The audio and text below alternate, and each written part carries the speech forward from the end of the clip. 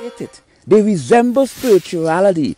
But when the real, because spirituality is not a discussion, it's not a course. You don't sit in a yoga class.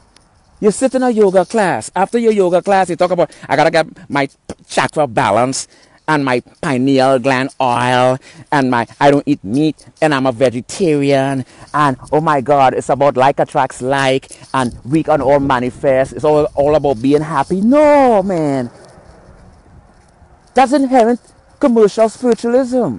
I'm the hidden light. I'm the son of man